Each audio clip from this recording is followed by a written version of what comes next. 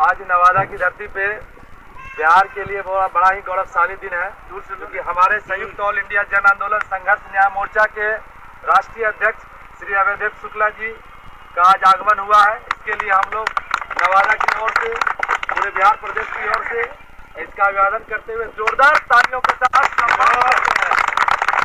साथ ही साथ हमारे संयुक्त ऑल इंडिया के राष्ट्रीय उपाध्यक्ष का भी प्रथम बार आगमन हुआ। इसके लिए तहे दिल से इनका हार्दिक सम्मान करते हैं।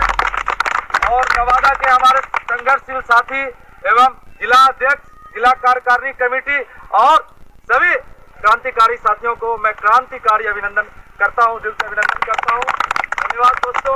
निश्चित तौर पे आज आप देखे होंगे कि पूरे हिंदुस्तान में जो है ऑल इंडिया मंच का डंका पीटा जा रहा है।